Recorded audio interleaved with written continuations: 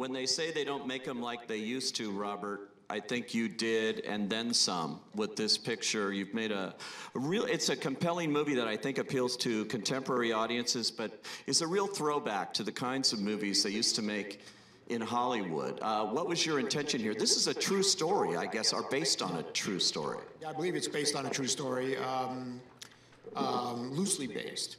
Um, but um, no, my intention was just, you know, I was just inspired by the screenplay. You know, I mean, I read the screenplay, you know, Steven Knight's you know, beautiful screenplay, and um, you know, that's that's what uh, you know, the sort of the style of the movie just um, was inspired by that. It came off the page. It's in Casablanca. It's got all those exotic locations, London during the war.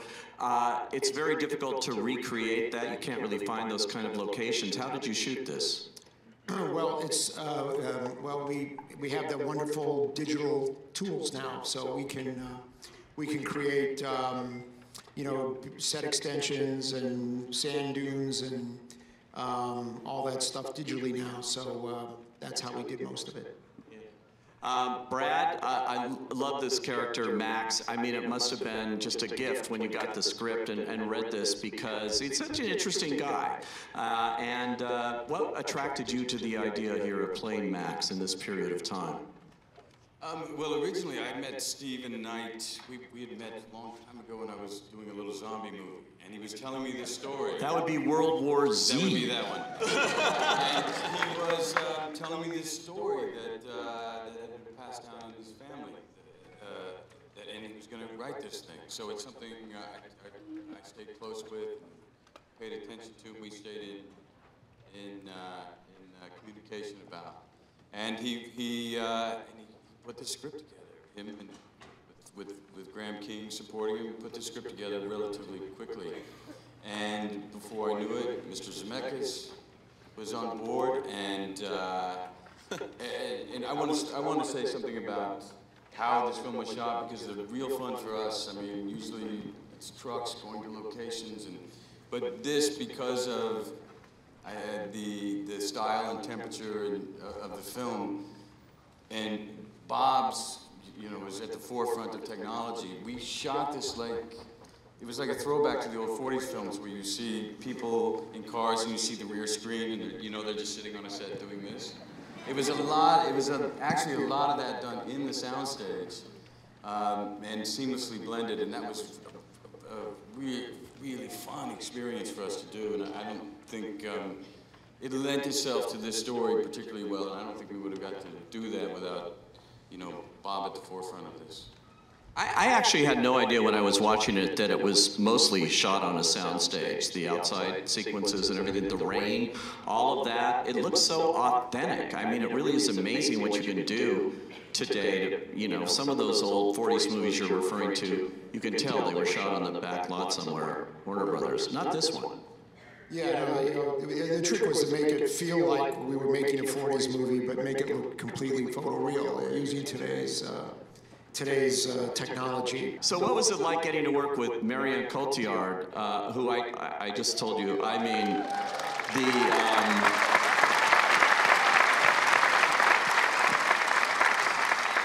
in case, in case you don't know it, the camera loves you. And it's uh, is this a, a role that you were born to play?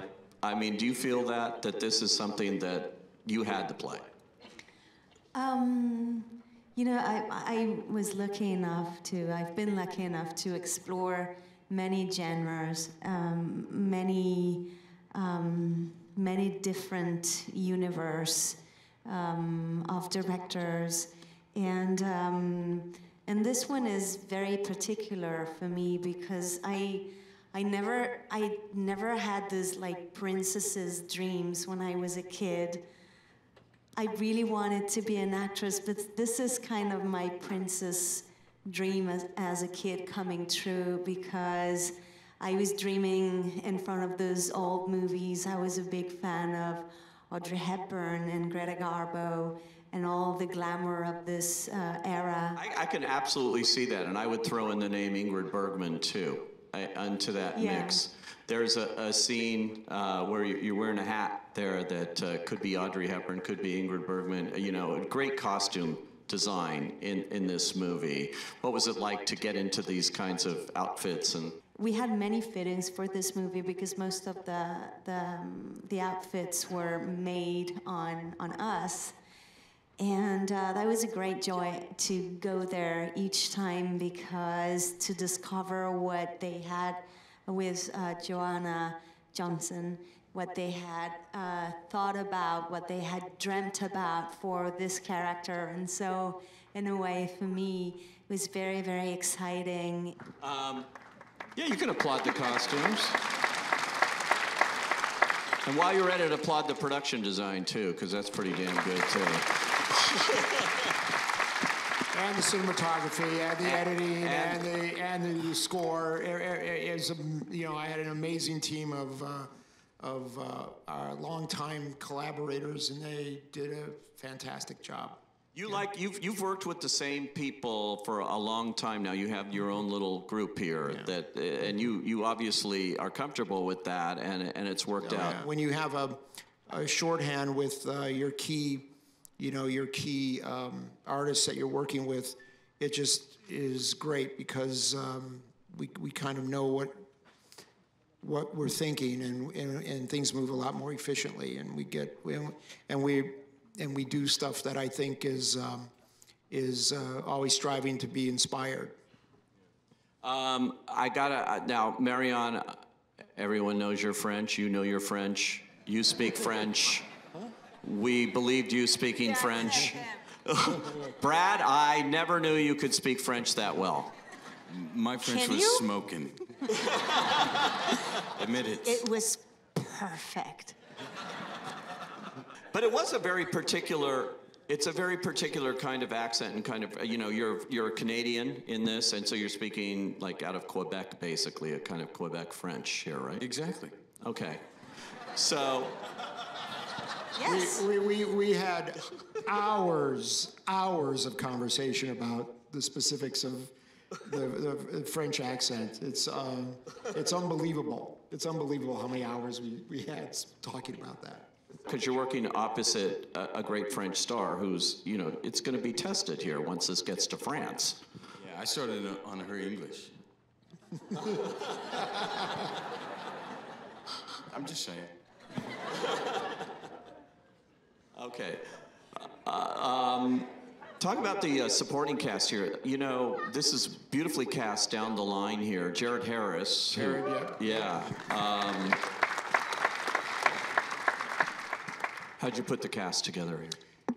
Um, uh, you know, just the, um, just the, you know, the uh, tried and true process of uh, collecting ideas for people, working closely with Nina Gold, who was our casting director, and uh, us collaborating, throwing ideas, and um, just it's it's just that process of um, of uh, you know being inspired by the screenplay, and, the, and, then the actor comes in, and, and then a lot of times you meet them, and you just know that they're right, and and, and sometimes.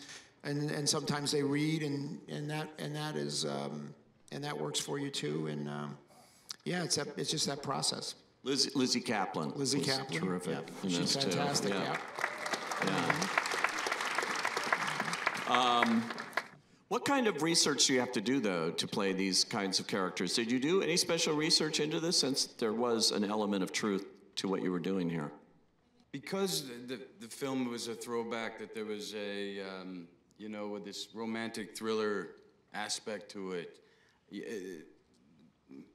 I guess I'm trying to say it, it felt more um, fantasy than reality, I, and I mean that in a, in a good way, in a nice way. That um, so the the the approach was more uh, really going on the ride, and, and, it was about the execution of it all, which was completely foreign to the way we usually make films, and less about, um, uh, I, I guess. Uh, preparation I've had to do on, on other characters. What about for you, Marion, in, in playing her? Uh, you know, she's a heartbreaking character, you know, particularly when you get to the end. Um, uh, it's, it's, it's, a, it's a movie you don't want to know too much about before you go to see because there's so many twists and turns. I, you only want to know the basics, but when, you, when you're playing this French resistance person who may be something else, Uh, no, I didn't. Um, I, I mean, I didn't do researches that uh, certain movie, uh, certain movies require. Um, but I needed to invent uh, her life, everything we don't know about her. Um, you and Brad and the rest of the cast have rehearsal time here. You've got great chemistry. Everybody here is completely believable, and you have great chemistry on screen together. It's a very believable kind of story the way you're playing it out here. Did you have prep time before uh, Robert started being a slave driver and getting this movie made? Well, yeah, yeah, that's uh, that's really amazing when you have this time. We worked for more than two weeks, I think, and um, and it's and it's a great thing because you can, you know, see how uh, the other actor works and uh, and just um, you know get to know each other. And uh, we had an amazing time with the writer, with uh, Graham King, uh, Steve Knight, and, and, and Bob, uh, talking about the movie, um, about our feelings, about the, where we wanted to go. So, and we had dance lessons. Yes, right? Well, it tells a lot about a person. Uh, really? How about the plane? I wanted to ask about the uh, the the Lysander plane that you had in this. Is that a real? Is that an actual one? Because no, they they, were. they don't. No, there's. I think there's a. Uh, maybe there's. A, there's a, a I think the only flying ones are actually in Canada. Um, but that is a um, you know perfect replica that we had designed, and we you know, we only actually made only one airplane for the whole movie, um, and and the one that Brad is uh, piloting, that's the one that is the replica. And uh, what did you learn to do the flying that kind of plane? I fly pretty well, don't I? Yeah, you do. that was good. Any special prep for that? Yeah, special effects.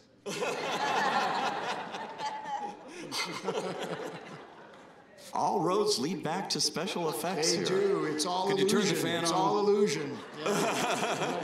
That's all.